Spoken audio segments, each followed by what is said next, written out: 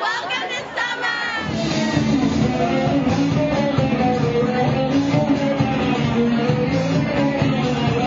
Welcome to summer!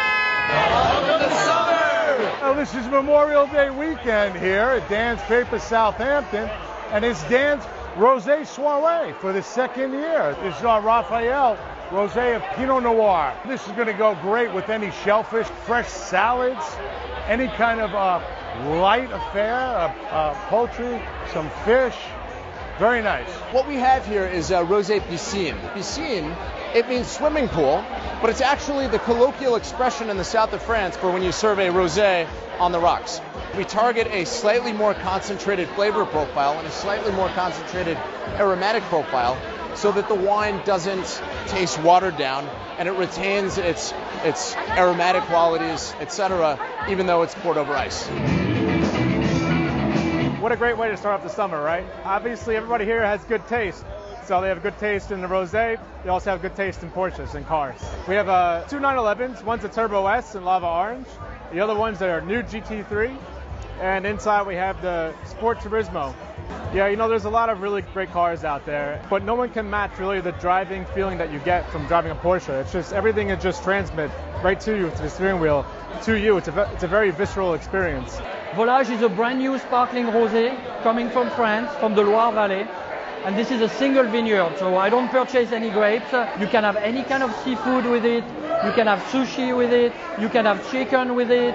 You can have a lot of like different things with it.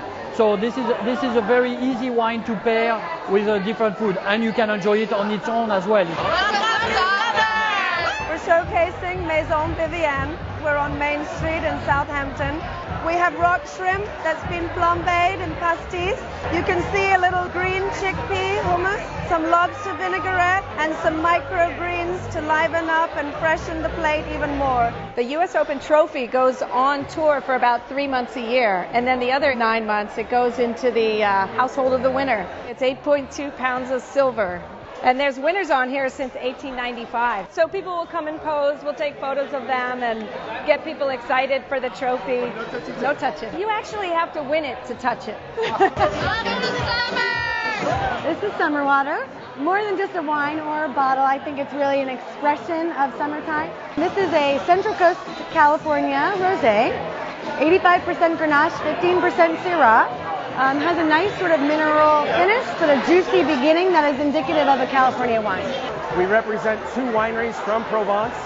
We use a combination of Syrah, Cinsault, Grenache, and in this particular wine, a little bit of Rolle. Instead of just a salad or a light fish, you can move into heartier meals with this wine, and the spice really gives it the quality to cleanse your palate and move you through the meal.